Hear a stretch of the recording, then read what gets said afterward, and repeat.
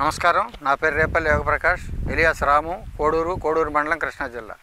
ప్రస్తుతం ఆంధ్ర రాష్ట్ర ప్ర ఆంధ్రప్రదేశ్ ప్రభుత్వం పేద ప్రజలకి గతంలో ఎప్పుడో దాదాపు ముప్పై ఎనిమిది సంవత్సరాల నాటి ఇచ్చినటువంటి వేరువేరు ప్రభుత్వాల కాలంలో ఇచ్చిన పక్కా గృహాల తాలూకు హౌసింగ్ బోర్డు రుణాలను రుణాలను వసూలు చేయడానికి పూనుకుంది ఓటీఎస్ పేరుతో. వన్ టైం సెటిల్మెంట్ అనే పేరుతో. ఆ రకంగా కొన్ని వేల కోట్లను ప్రభుత్వ ఖజానాకి జమ చేయాలనేది ప్రభుత్వ సంకల్పంగా కనపడతా ఉంది. అయితే ఇది ప్రభుత్వానికి ఈ సలహా ఎవరు చెప్పారో? ఇది సరైందని ప్రభుత్వం ఎందుకు భావించిందో వాస్తవాన్ని ఏ కొంచెం కామన్ సెన్స్ ఉపయోగించి పరిశీలించి చూస్తే ఇది ప్రజల్లో తీవ్రమైనటువంటి వ్యతిరేకతని పెద్ద ఎత్తున ప్రభుత్వానికి వ్యతిరేకంగా తీసుకొచ్చేది. అంతేకాకుండా ప్రభుత్వం యొక్క ప్రతిష్టని చాలా పెద్ద ఎత్తున దిగజార్చేదిగా ఉంది.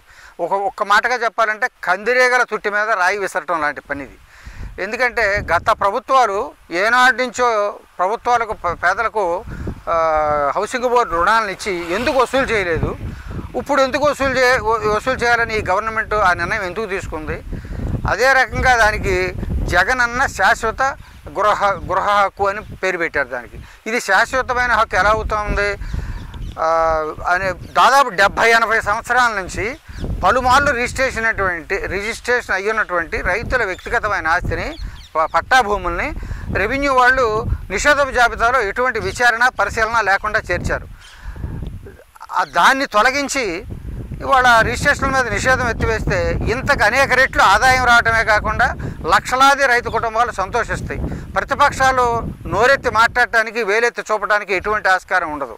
కానీ దాన్ని వదిలిపెట్టి ఈ గత ప్రభుత్వాలు ఇచ్చినటువంటి ఇంటి డబ్బుల్ని బకాయిల్ని లోన్ బకాయిల్ని ఇవాడు వసూలు చేయటం అంటే అంతకన్నా కూర్చున్న కొమ్మను కొట్టుకోవటం లాంటి రాజకీయ ఆత్మహత్య లాంటి కార్యక్రమం తప్ప మరొకటి కాదని చెప్పి ఈ బాధితులందరి తరపున గృహ లోన్లకు ఎవరైతే మీరు ఒత్తిడి చేస్తూ ఉన్నారో వాళ్ళందరి తరపున సవినయంగా మీకు మనవి చేస్తూ ఉన్నాం.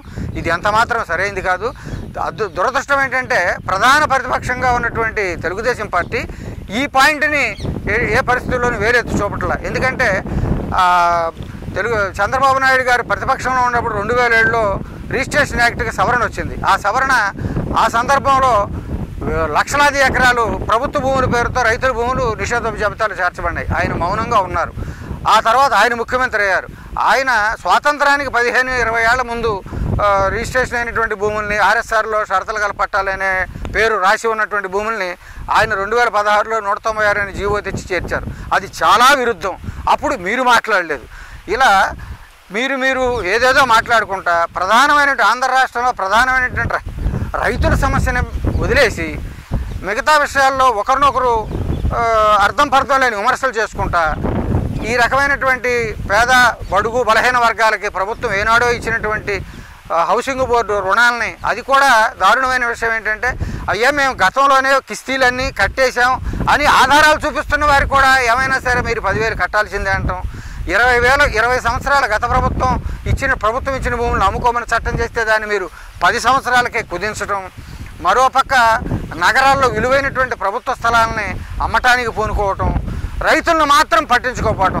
ప్రధానంగా నాలుగు జిల్లాల్లో గత వరకు ఎన్నడూ లేనటువంటి భారీ వర్షాలు కురవటం తద్వారా వరదలు చాలా జలప్రలయం సంభవించడం దిక్కుతో దిక్కుమాలినటువంటి పరిస్థితుల్లో రైతులు గృహస్థులు ఉంటే వాళ్ళని ఆదుకునేదానికి ఏ విధమైన చర్యలు తీసుకోవాలి?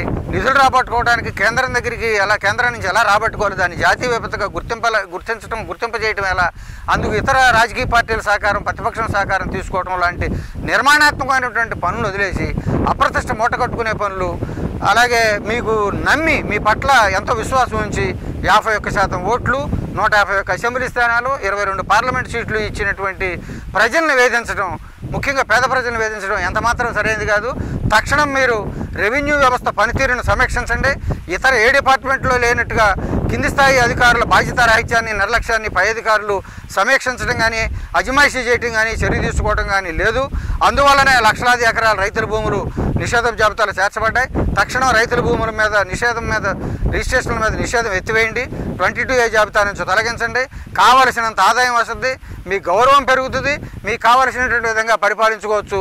లక్షలాది రైతు కుటుంబాలు సంతోషిస్తాయి. మీకు ఎంతో కృతజ్ఞత కలిగి ఉంటాయని చెప్పి సవినయంగా దివి తాలూకా రైతు ఐక్య కార్యాచరణ కమిటీ తరఫున మీకు విజ్ఞప్తి చేస్తా ఉన్నాం. రుణాన్ని నిర్బంధంగా వసూలు చేయవద్దని మరోసారి మనవి చేస్తా ఉన్నాం.